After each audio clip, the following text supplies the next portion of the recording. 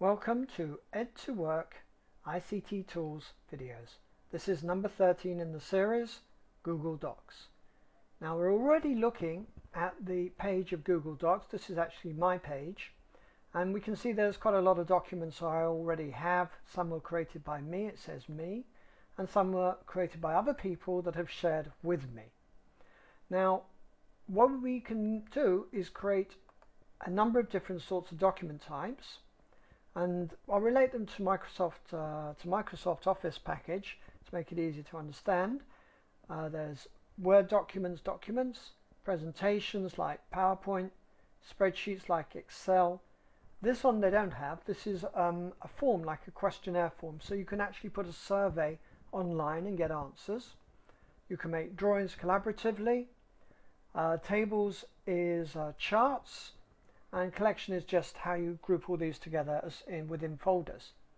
Now what we'll do here, we're going to create a quick document. Here it is. I'm going to click on document and up comes the new document and we're going to call this uh, Google Docs for now. Okay, and uh, we're going to rename the document because at the moment it's called Untitled. So we go to File, Rename, enter the new name Google Docs. Okay. Now what's very interesting about all the Google Docs is that you can share them.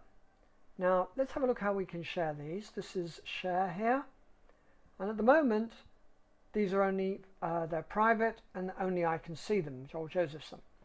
Now I'm going to change that and I can share it publicly on the web so you can actually make a document here that you would share with everybody in the world. Uh, you could link it through a website or whatever you wish. You could share it anyone with a link and there'll be a link in a minute I'll show you how to take the link and you then send the link either by email directly from the application here or through your email or you can make it private so that only people uh, uh are allowed to log on and then see it. So let's um, share this with anyone on with the link uh, but then we can do additional things and we go to this box here called access can view now we can allow people who have the link to edit the document. So it's like they've got exactly the same document as me and they can edit it. Or they can just comment on it or they can just view it. So let's say that they're going to be able to edit. We save it and then we can see this is the link that I'm going to send it. Now I can down here I can put in email addresses and send the people directly from the application or I could take this link up here and send it to them directly.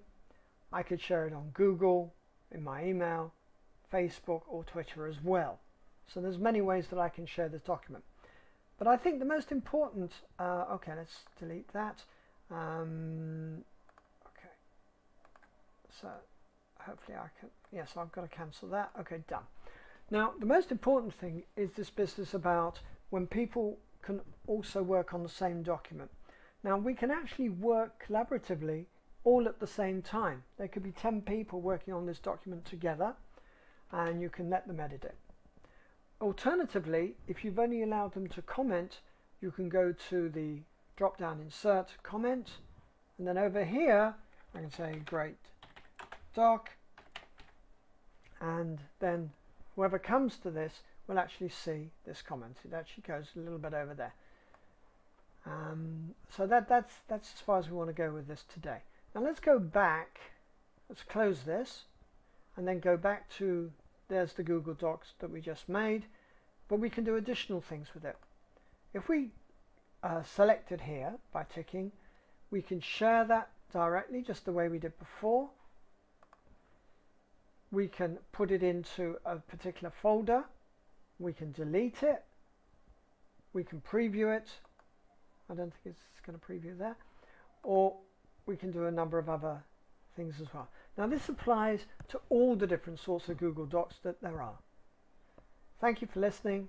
This is the end of the presentation on Google Docs number 13 in the series.